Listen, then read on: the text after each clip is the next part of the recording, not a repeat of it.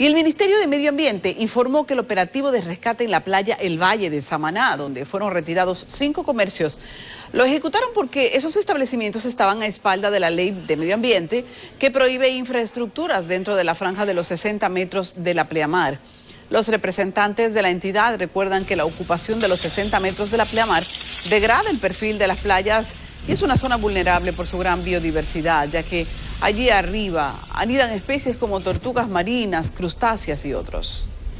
Y recuperar áreas que por durante casi dos décadas fueron ocupados por personas de manera eh, ilegal y así darle la oportunidad a todos los ciudadanos que puedan venir a esta hermosa playa del valle y disfrutarla ya que es de dominio público. En los últimos meses, el Ministerio de Medio Ambiente ha realizado intervenciones similares en varias playas del país, un proceso que será extendido a otras localidades para continuar con la recuperación de estas áreas.